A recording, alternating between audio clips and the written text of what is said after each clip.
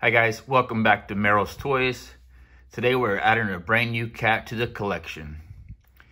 Right now you see Panthor. This is the one that was made in Taiwan. But this is the cat we're adding to the collection. I've been trying to track this guy down for quite a while now.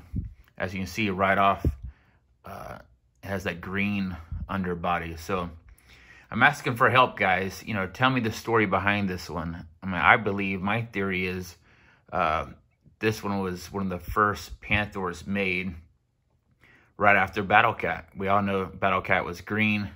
Uh, maybe this was one of the first uh, production ones. I'm guessing that's the story behind it. But if you have some more information, please, you know, share it with me. Leave a comment.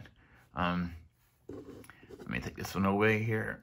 But you can see all the flocking that's been kind of rubbed off. You know, see that green uh, underbody there. He is missing one tooth, but I'm okay with that. So, like I said, you know, share some information. I believe this is the first one, one of the first release uh, Panthors.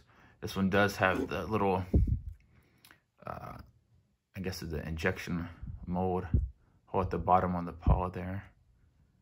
But as far as I know, this is probably one of the first production runs of Panthor.